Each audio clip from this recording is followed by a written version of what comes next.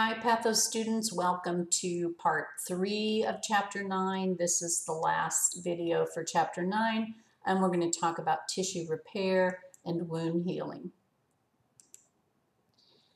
After cells are injured and after the inflammatory response, then tissues must be able to repair themselves. This can happen by regeneration in, in the case of regeneration, cells will be replaced with the same type of cell, and sometimes there's absolutely no trace of the prior injury. Sometimes the injured cell is replaced with connective tissue, which results in scars or fibrosis. And sometimes cells will be repaired by a combination of regeneration and replacement. Before we move on, we need to define some terms. First of all, body organs and tissue are composed, composed of two different types of tissues. Parenchymal tissue describes the functional cells of the organs, like hepatocytes and the cells in the renal tubules. Stromal tissue are the supporting connective tissue, including vessels, nerve fibers, and the extracellular matrix. In our discussion of cancer, we've already talked about differentiation and proliferation. Differentiation is the process whereby a cell becomes more specialized in terms of structure and function, and proliferation means the cell is able to increase in numbers through mitotic division. So we're going to go back to the cell cycle for just a minute. Um, so remember that we have the um, G0 phase, which is where the cell is um, out of the cycle. It's not going to be dividing, and it's usually functioning um, and growing, but it won't divide. Um, and then we have the G1 phase, where um, the cell's functioning, growing, and then the S phase, where we're synthesizing the DNA. Then we have the G2 phase where um, we have rapid cell growth preparing to divide. And then we have the M phase, which is where the cell actually divides. and then ultimately, we're back to the G0 phase or the quiet phase. Excuse me. Permanent cells like muscle cells, nerve cells, cardiac muscle cells re will remain in the resting phase of G0. They can't undergo mitotic division, so muscle and um, particularly important in cardiac muscle and nerve cells like brain injuries, they will be replaced with fibrous scar. Stable cells actually um, are these are the ones that normally will stop dividing when growth ceases. However, these cells are capable of regeneration when they're confronted with the appropriate stimulus. And when that happens, they'll go into the cell cycle and move from G0 into G1. These stable cells include the parenchymal cells of the kidney, the liver, some smooth muscle cells of the gut, and vascular, vascular endothelial cells. Labile cells are never in G0, or, and they have a very short G1, and these include um, skin, hair, bone marrow cells, etc., and these will divide and replicate throughout life. Cell proliferation is triggered by growth factors. Growth factors are small signaling proteins that increase cells in size and also increase the rates of cell division.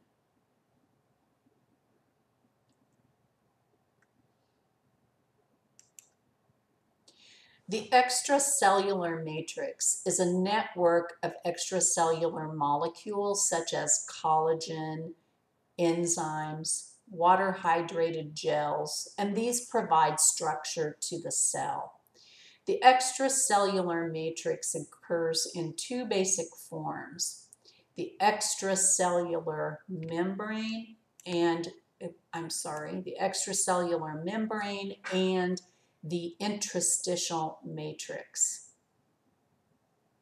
The extracellular matrix basement membrane forms the scaffolding for tissue repair. So it must be intact for tissue to be normally restored after injury.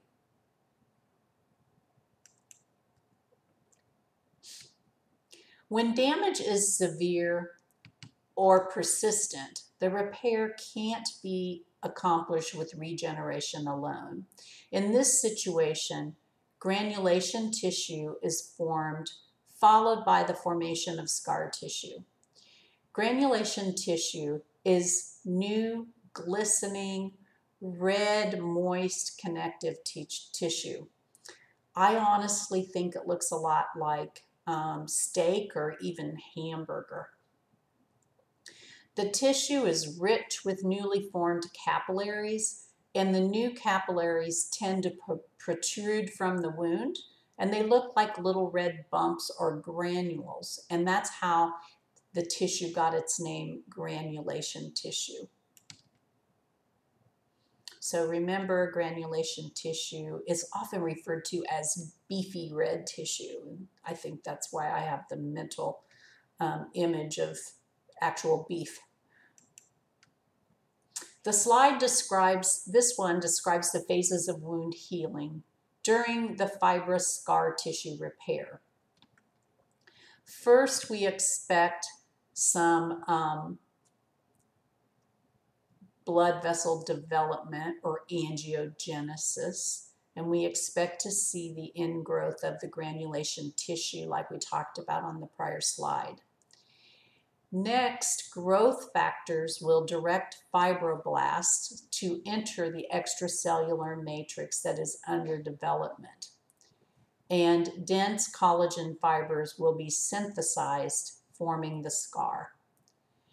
Then the scar will go through a process of remodeling. And in this phase, there will be maturation and reorganization of the fibrous tissue. As the scar matures, then vascular degeneration um, turns this highly vascularized red granulation tissue into a very pale and largely avascular scar. collagen synthesis is important to the strength of the newly healed wound. Collagen continues to reorganize and to align until it's um, reached its optimum strength. So this is showing um, an a myocardial infarction with some um, scar tissue that's formed. And obviously we want our left ventricular wall to be of its optimum strength. Wounds can heal by primary intention or by secondary intention. You will see the primary intention, intention is also referred to as first intention I always think of surgeons closing a wound with sutures or staples, and of course, their first and primary intention would be for that wound to heal in an uncomplicated way with little tissue loss. That's primary intention. Sometimes wounds must heal by secondary intention. We have to have wounds heal uh, from secondary or from the bottom up if there's a large tissue deficit. So imagine, um, is there enough is, is the wound too big that we can't pull and approximate the skin edges together?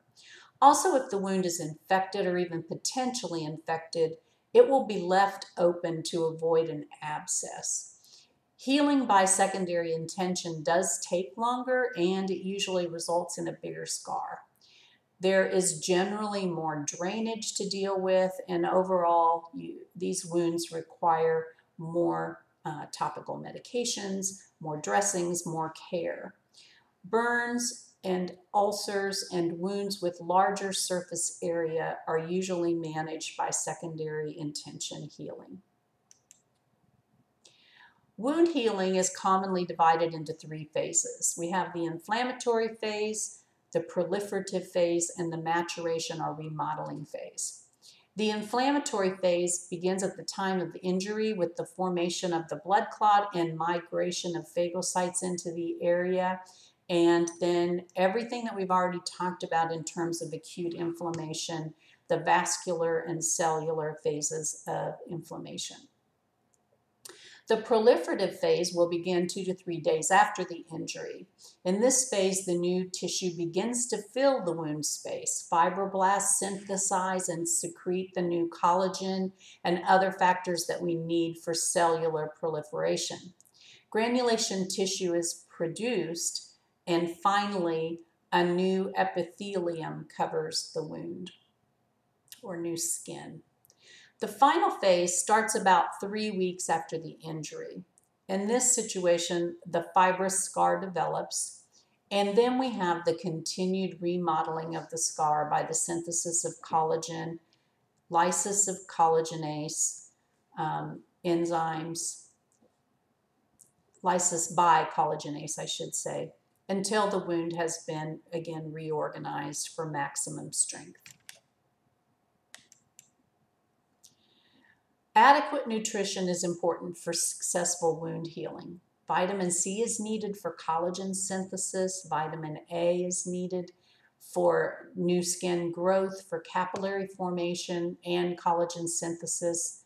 The B vitamins are important for enzymatic reactions, and vitamin K helps to manage bleeding. The macro minerals, which include um, sodium, potassium, calcium, phosphorus, copper, and zinc are all important for wound healing because they're important in normal cell function.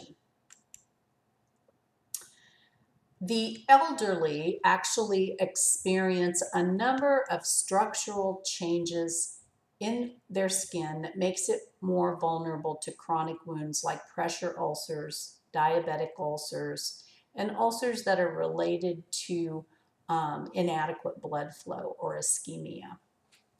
These age-related changes include a decrease in dermal thickness, a decrease in the amount of collagen in the skin, and as people age, the skin will lose its elastic properties. And all of these age-related changes are often compounded by years of sun exposure.